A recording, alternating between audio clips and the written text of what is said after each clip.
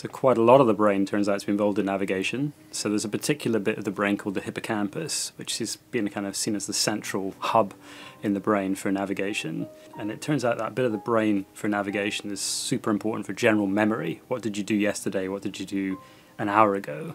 Is the same part. So there are other bits. So that sort of the hippocampus stores a map, we think, of the space you inhabit and you explore. But there's other bits of the brain that store habits. So if you're getting to work in the morning, you don't need to think about where exactly you're going. And there's another bit of the brain called the caudate nucleus that helps you do that. And in Alzheimer's disease, um, unfortunately, the hippocampus and the, particularly the area feeding into it, called the entorhinal cortex, appear to be early affected in the disease. So they compromise that kind of map-like ability to navigate and think about where you are in space um, and that sort of habit of how to find your way by habit sort of stays on for further into the disease.